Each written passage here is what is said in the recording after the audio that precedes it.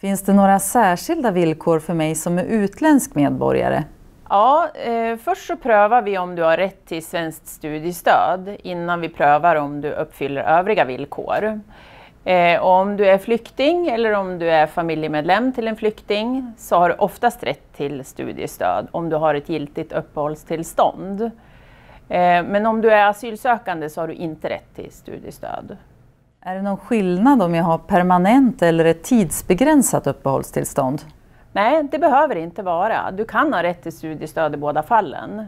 Men om du har ett tidsbegränsat uppehållstillstånd så måste du ansöka om att förlänga det hos Migrationsverket innan giltighetstiden går ut.